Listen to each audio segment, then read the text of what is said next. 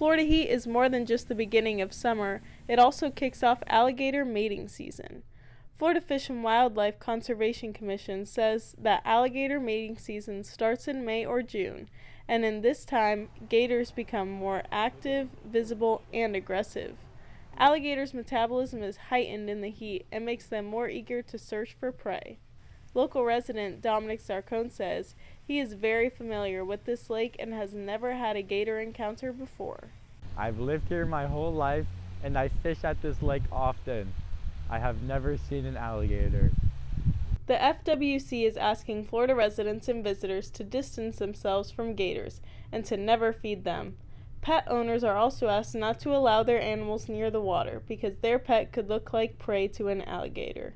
Apartment owner Alexis McDonald has just moved into an area with active alligators and was told to take caution. I just signed my lease for this apartment, and when I moved in, they did warn me about alligators because this apartment is backed up behind a lake.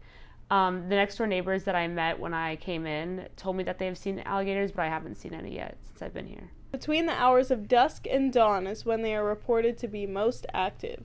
A mature alligator can be up to seven feet long. Living with alligators is nothing new to us Floridians, but making sure we share our space safely with them is important.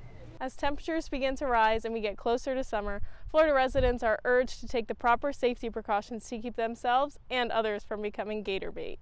If you see a gator or have suspicions about gator activity in your area, FWC has a toll-free nuisance alligator hotline that can be called, or to find out more information, you can go to FWC's website.